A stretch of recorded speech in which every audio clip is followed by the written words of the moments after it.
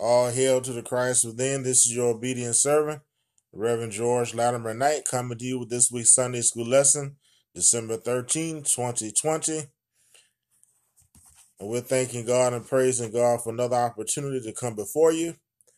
ask you to follow, to subscribe to our YouTube channel at Father Hurley, and also to follow us on our other social media channels at Father Hurley uh, via Twitter, uh, Instagram, and Facebook.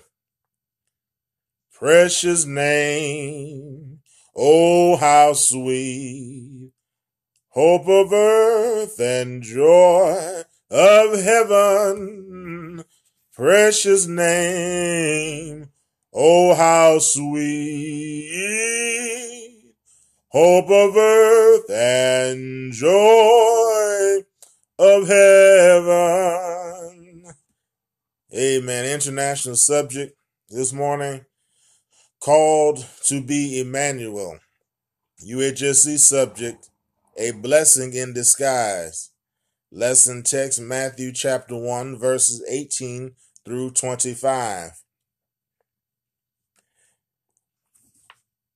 I don't want to focus uh, too deeply on on the verses, but uh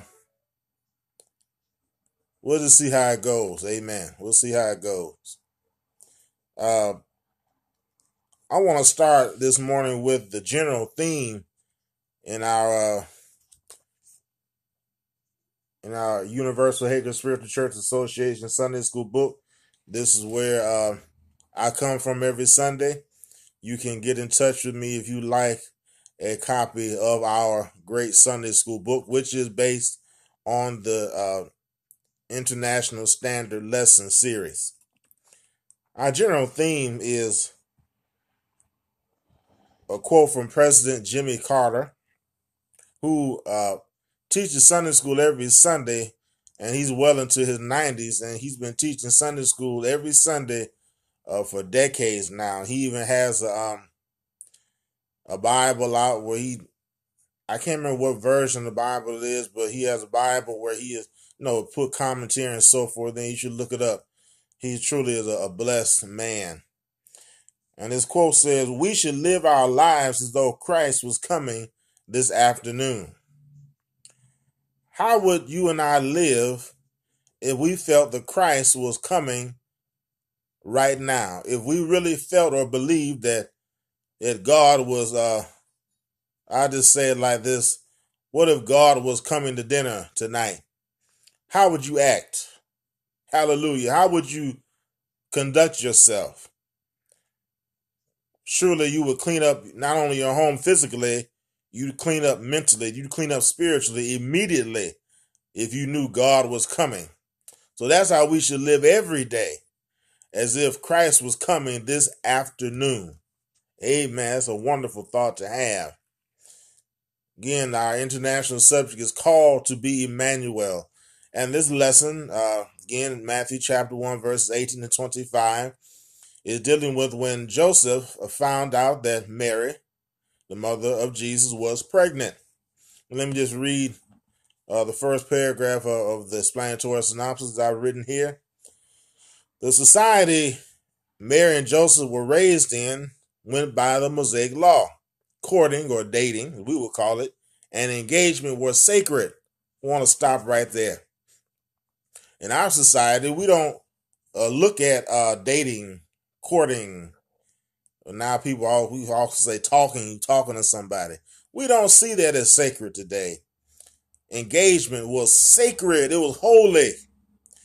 Now, uh, some of us may still hold true that marriage is holy and sacred, but in their day, in their culture, the whole process was holy there was no uh, uh, hooking up or uh, friends of benefits, and because they saw the whole process as holy, coming into union with someone, even uh, uh, attempting to, even considering coming into union with someone was for them a sacred and holy act.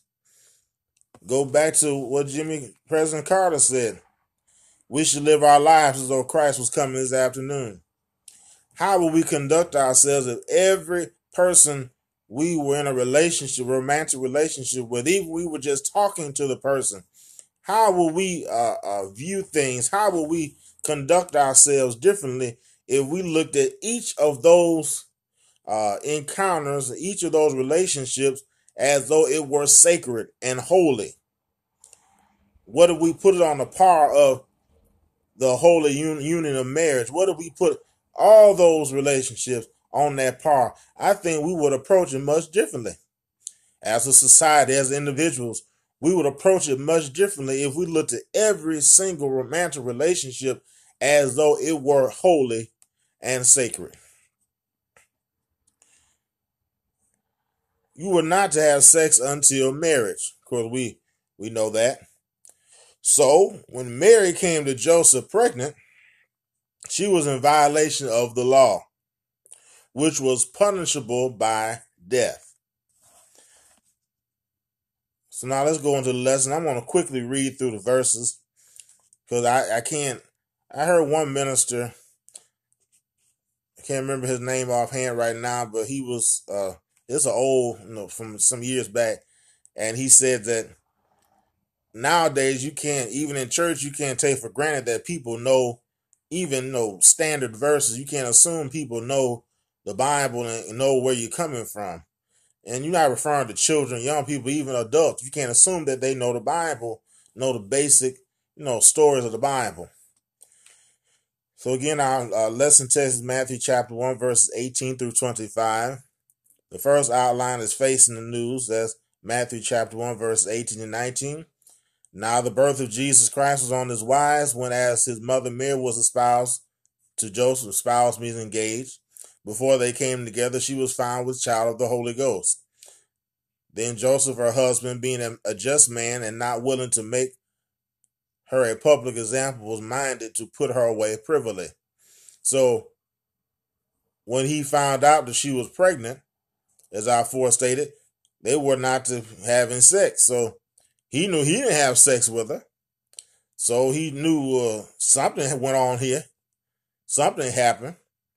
And without any other prompting, he felt, well, I'm not going to expose her because he could have, if he had told the elders, if he had told the the Sanhedrin, if he had told uh, the rabbi, the teachers that she was pregnant, they could have stoned her to death according to the law.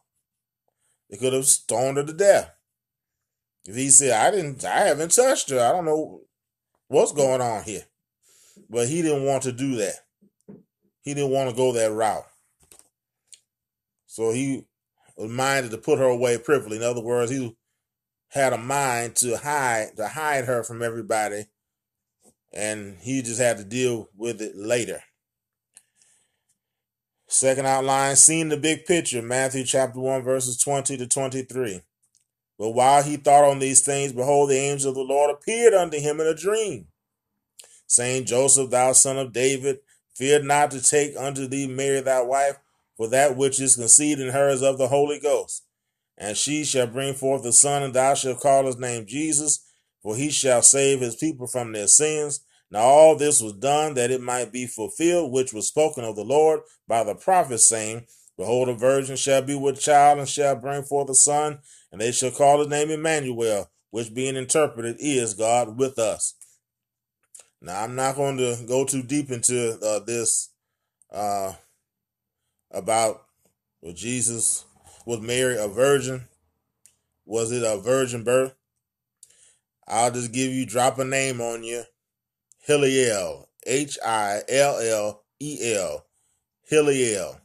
Look it up. Amen. And then uh, get in touch with me. We can have that conversation about if Mary was a virgin. Amen. I will say this yes, it was of the Holy Ghost, it was a holy act. Sex itself is not dirty. It's not dirty. It's the thoughts of our minds that make the act dirty. oh, I'll leave that alone. Let's go to the third outline. Uh, accepting the call, Matthew chapter 1, verses 24 and 25. Then Joseph, being raised from sleep, did as the angel of the Lord had bidden him, and took unto him his wife, and knew her not till she had brought forth her firstborn son, and he called his name Jesus. Amen. So he did not have any relation. Joseph had no relation with Mary until after she gave birth. They got married and she gave birth. And then no after no after you know the, the period of time when she was able, then that's when they had uh, relations. He did not touch her until that time. So he went on and married her anyway. Now we're not told this in the in the scripture in the in the verses, but we can take from that that basically Joseph uh, said or or intimated that he had no relations. He had sex with her, so he was the father. That's what he put out there. He was the father. You know, they they you know gave in to their you know appetites, and he got her pregnant, and that's just what everybody knew. That was the story, and he just covered her. Amen. But even uh, let me finish here this first paragraph. Even before being instructed by the Spirit in his dream, Joseph loved Mary enough not to expose her. So he wasn't going to put her out there anyway. But then the angel of the Lord gave him the instruction, and he followed that instruction all up into he did name his son because he did accept him, Jesus. I want to read this next paragraph because I want to get to it. It's very important. This lesson also teaches us about knowing our child's purpose. Before bringing a child into the world, we should go to the Spirit and plead for a vision of what good works God desires a child to do. Every uh, life is important. Every life has value. Every life has a purpose. That's at least that's how we should live. We should live as though everybody has a purpose. So when a child is on the way, when the mother is pregnant, yes, that child has a purpose. That child is coming for some good reason. That's how we should approach it. And as the parents, you ought to pray for the Spirit of God to reveal it to you or reveal some piece of it to you so that you can proceed accordingly. And when the parents aren't aware of these things, the elders of the church should be allowed to offer their spiritual insight. No child is a mistake although some pregnancies are unplanned and come at a bad time for the parents. God is always on time. If God allows a child to be born, then we should know that God has a wonderful plan for the child. Let us love our children and raise them to appreciate the Christ within. Now, you would just see something as a blessing in disguise. Surely, children can, in many cases, be a blessing in disguise because, like I said, the child may not have been planned by the mother and father, but it was in the plan of Almighty God. I thank you for joining me this morning for this lesson. I am praying that you receive some, at least one good thought out of it that you can take with you on through the week. Uh, share this video with your friends, family, and followers. And I'm praying that you will join us again on next week for another wonderful and insightful Sunday school lesson. Uh, it is my design, at least at right now, to keep these videos under 15 minutes, which we are. And uh, we'll do that until the Spirit will lead us into a, a different format. And we're working on some different things of how to do this and how to expand it. So I love your feedback on some ideas of how we can do this because I don't want to make the videos too long where people won't watch them know, throughout. So God bless you. I love you. May the Lord bless you and keep you. May the Lord make his face to shine upon you and be gracious unto you. May the Lord lift up his countenance upon you and give you peace. Amen.